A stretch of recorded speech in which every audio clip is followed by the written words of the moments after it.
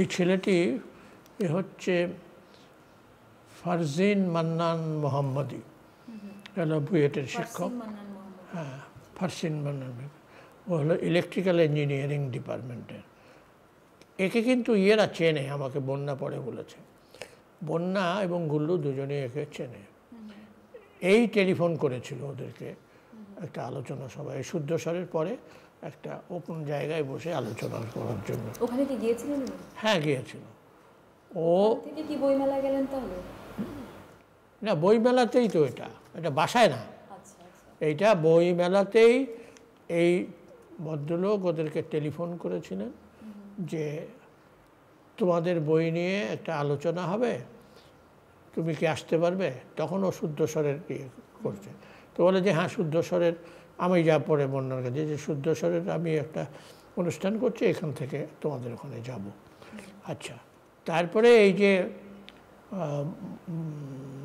ওই অভিজিৎ তারপরে গেছে ওখানে। অভিজিৎ জিজ্ঞেস করছিল, আর কে কে আসবে ওখানে? তো বললে যে আসিফ আসবে। আসিফ ওই যে, ও বোধহয় ব্লগার, সায়েন্সের উপরে আর্টিকেল টার্টিকেল লেগে খবরের কাগজে, তারপরে ইয়ে করে, বক্তৃতা দেয়। ওনাদের একটা গ্রুপ আছে সম্ভবত তাই না? ফারসিন মোহাম্মদী হ্যাঁ একটা গ্রুপ আছে। তো ও ওকে বলেছে যে তোমার তোমার বই নিয়ে আলোচনা হবে। তোরা গেল। সাড়ে সাতটা ওটা পাঁচটার সময় হওয়ার কথা ছিল। পরে আবার ফোন করে জানিয়েছে যে পাঁচটা উইল টু আর্লি লোকজন আসবে না তোমরা সাতটা সাড়ে সাতটার দিকে আসো। তারপরে যখন গেল গিয়ে দেখে যে অপরিচিত কয়েকজন বসে আছে। তো ইয়ে ছিল ওই যে এই মান্নান। ও ছিল বন্যার কাছ থেকে যা শুনেছি। তো ও বলল যে এটা বন্যা আর ইয়ে অভিজিৎ জিজ্ঞেস করেছে কই আসিফ কোথায় ইয়ে নৃত্য কোথায়? বলল যে ওরা আসবে। কিন্তু ইনফ্যাক্ট আর আসেনি। এইটাই কাল হলো। এরপরে মানে? কাল হলো মানে ওইখানে যাওয়াটাই। এইটা হলো অ্যারেঞ্জড এবং আমার মনে হয় মান্নান খুব ইনোসেন্টলি কাজটা করেছে। মানে ও যে এটার মধ্যে ইনভলভ তা না, কিন্তু সে অনেক লোকজনকে ডেকেছে, অনেকে এসেছে শুনে। এই যে আননোন ছেলে কতগুলো বসে আছে ওখানে, তারপরে করল কি ফার্সিন, ওর সঙ্গে আলোচনা টলোচনা করে ওরা গুল্লুকে এসকর্ট করে ওই যেখানে স্পটটা হয়েছে ওই গেট দিয়ে বেরিয়েছে। তখন বলল যে চলেন দা, অভিজিৎ আমরা চা খাই। ওই ছেলেগুলো আননোন ছেলেগুলো। ইতিমধ্যে মান্নান ফরসিন মান মোহাম্মদ কেটে পড়েছে। কেটে পড়েছে ওর নিজের কাজে হয়তো চলে গেছে। আচ্ছা। তারপরে বেরিয়েছে বেড়ার পরেই তো ওখানে তাকে ইমিডিয়েটলি কি না ওর সঙ্গে ওই যে বললাম যে আসিফের আসার কথা ছিল সে আসেনি আর তো নিত্যর আসার কথা ছিল আর আসেনি। আর বাকিটা সবই ওদের আন্ন শুধু ফারসিন মোহান্না মান্নান মোহাম্মদই পরিচিত। কিন্তু সে তো ওদের সঙ্গে বন্যাদের সঙ্গে আসেনি ও ওর নিজের কাজে হয়তো চলে গেছে। এই হলো। তারপরে আমি ওর একটা টেলিফোন নাম্বার আছে আমার কাছে কিন্তু এটা সুইচ অফ করা। হ্যাঁ সুইচ অফ করা। তো আমি একদিন যাব বইয়েতে ওদের খোঁজে কাউকে পরিচিত বন্ধুকে সাথে নিয়ে একা যাব না। আসিফের সঙ্গে বন্যাদের কথা হয়েছে অনেক পরে। না।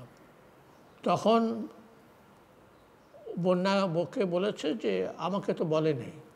আসিফকে বলেনি? না আসিফকে বলেনি নিত্য মান্নান বলছেন যে আসিফ হ্যাঁ। আমন্ত্রিত ছিলেন। আমি কিন্তু ওরা যখন যায় তখন ওখানে আসিফ নিত্য কেউ ছিল না।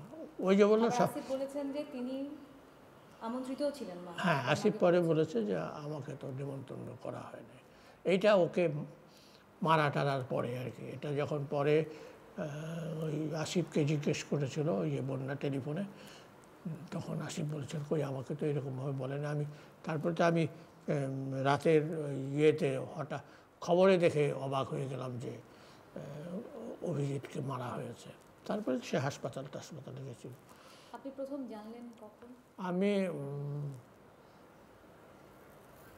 সাড়ে নটার দিকে বোধহয়। সাড়ে নটার দিকে আমাদের ঢাকা ইউনিভার্সিটির অ্যাসিস্ট্যান্ট প্রক্টর। উনি আমাকে টেলিফোন করলেন যে স্যার অভিজিৎ রায়কে রায় বলে কাউকে চেনেন নাকি আপনি? তাই বললাম হ্যাঁ ও তো আমার বড় ছেলে। বলে স্যার শিগগির হাসপাতালে যান। He has been brutally wounded তাই বলে যে কে উন্ড করে বলে সেটা তো এখন বলতে পারি না স্যার। কিন্তু ওকে টিএসসি চত্বরের কাছে পেছন থেকে চাপাতি দিয়ে করেছে এবং ওর বউও কিন্তু তখন তারপর তো সে ফোন ধরছিল না। যে ফোন ধরছে ফোরতে বসে ফোন ধরছিল না। তারপরে আমি তো আমার ছোট ছেলেটাকে ইমিডিয়েটলি রাষ্ট্রপতি হসপিটাল, তখন সাড়ে নটা প- পৌনে দশ পৌনে দশটার মতো হবে। তো গিয়ে দেখে বন্যা, ওই ক্যাজুয়ালিটি ডিপার্টমেন্টে ঢুকেই দেখি যে বন্যা মাল্টিপল ইঞ্জুরি ব্যান্ডেজ ট্যান্ডেজ করা তাই বললাম বন্যা কী হয়েছে? তো বলল যে, বাবা, আমার দিকে তাকাতো না, আপনার ছেলেকে বাঁচান। তারপরে তো, তবুও আমি ওই, ওখানে একটা নার্স দাঁড়িয়েছিল হুইল চেয়ারে বসা, বন্যা। তো বলল যে, স্যার, আমরা ওকে সিটি স্ক্যান করতে নিয়ে যাচ্ছি, আর ওকে ব্লাড দিতে হবে। তার মানে যা ব্যবস্থা করেন করেন। আর আমার ছোট ছেলেটাকে বললাম যে, তুমি ওই বন্যার সাথে যাও আর কি, যা যা করার। তারপরে আমি অপারেশন থিয়েটারের দিকে অগ্রসর হলাম। তো অপারেশনটা তো ক্লোজ আমি নক করলাম, একজন ইয়ে ড্রেস পরা ইয়ে বেরিয়ে আসলো। বোধহয় ডাক্তারই হবে মানে ওই যে কতগুলো হেল্পিং ডাক্তার থাকে না মেইন ডাক্তার একজন, তার পাশে ওরা একজন বেরিয়ে আসলো। তা আমি বললাম, পরিচয় দিলাম যে আমি অভিজিতের বাবা, কী অবস্থা? বলে যে, স্যার, খুব ক্রিটিক্যাল অবস্থা আমরা অপারেশন চলছে। তো তাই বললাম যে এনি হোক বলে ঘাবড়াবেন না, আমরা আমাদের আপ্রাণ চেষ্টা করছি। তারপরে আমাকে, আমি তো অপেক্ষা করছি, আর হোপিং এগেনস্ট হোপ তারপরে বরকত আসলো, তারপরে ইমরান সরকার এলো আরও আমার অনেক বন্ধুবান্ধব এলো। তারা আমাকে সান্ত্বনা দিচ্ছিল যে, স্যার, চিন্তা করবেন না, একটা কিছু হবে। তখন দশটা বেজে গেছে।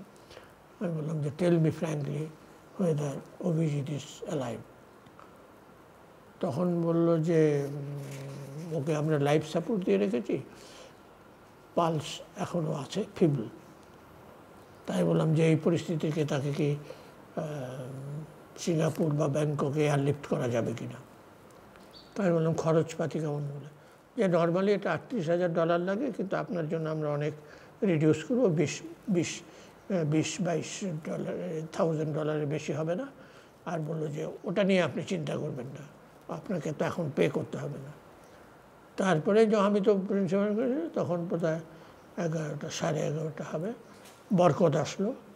বলল, স্যার, এসব করে আর লাভ নাই। Abhijit is no more. আমি totally broken down broken down আমার টিয়ার্স রোলস কিন্তু আমি একদিক দিয়ে খুব শক্ত মনের মানুষ। আমার তখন যে আমার আমাকে তো নিজেকে সামলাতে হবেই প্লাস অভিজিতের মাকে সামলাতে হবে, আমার, আর যারা আছে, পুত্রবধূ আছে, ওদেরকে সামলাতে হবে। কাজে আমার একেবারে টোটালি ভেঙে পড়লে চলবে না। I have to face the situation courageously and materially তারপরে বাসায় যখন ফিরে গেলাম, ওর মাকে ও তো জেগে আছে। সে নিজে খুব অসুস্থ, চলাফেরা করতে পারে না। এখন মাকে বলব কি বলব না, ওর মাকে আর কি। তো আমার পুত্রবধূ বললেন যে, মা, আমি এই দিকটা বাবা, আমি এই দিকটা সামলাচ্ছি। তারপরে এক স্টেজে মাকে ডিসক্লোজ করা হলো যে অভিজিৎ ইস নমর কান্নাকাটি করল, ইত্যাদি ইত্যাদি। তাকে সেডেটিভ দিয়ে ঘুমিয়ে টুমিয়ে রাখা হলো। সেই সময় একটা কথা বলি। একটার দিকে অ্যারাউন্ড এক। ভাতটা তার খায় না তো বৌমা জোর করে কিছু মুখে দিতে বলল যে নাহলে তো তুমি ভেঙে পড়বে।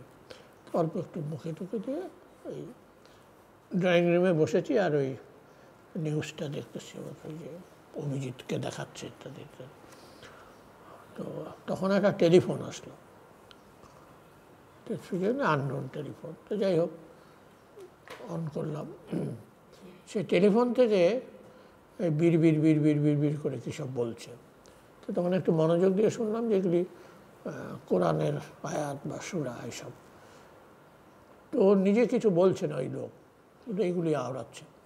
তারপরে আমি বললাম, ভাই, আপনি এত রাত্রে আমি বিধ্বস্ত হয়ে ফিরেছি হাসপাতাল থেকে। আপনি এত রাত্রে কী জন্য ফোন করেছেন? বলুন তো। তখন বলল যে আপনি আল্লাহর উপরে বিশ্বাস রাখেন। তাই বললাম যে, এত রাতে এই কথা বলার জন্য আপনি ফোন করেছেন? তখন বলল যে, দেখলেন না অভিজিতের কী পরিণতি? এই বলে আমি তো ফোনটা কেটে দিলাম। কয়টার সময় তখন রাত? তখন একটা একটা হবে। আর দশ মিনিট পরে আবার টেলিফোন করেছে। টেলিফোন করেছে আবার সেই একই কথা তখন আমি আমার বউমাকে দিলাম যে তুমি ওর সঙ্গে কী বললেও ভালো আর নাহলে ফোনটা কেটে দাও।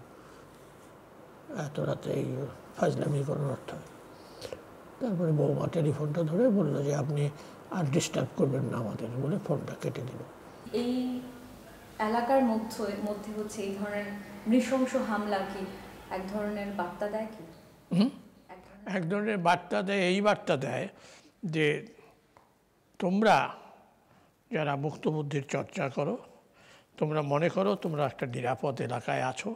আমরা ফান্ডামেন্টালিস্টরা ইচ্ছে করলেই তোমাদের এই তথাকথিত মুক্তবুদ্ধি চিন্তার ধারক বাহককে